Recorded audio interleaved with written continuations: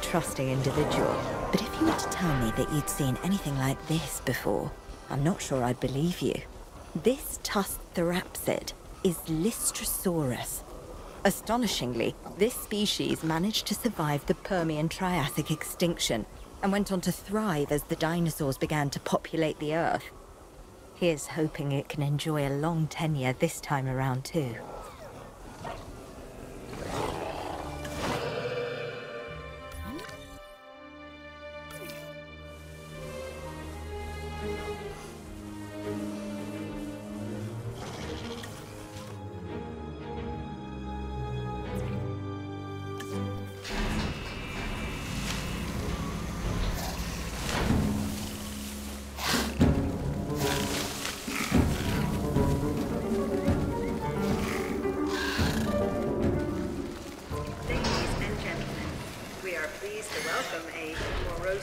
To the park.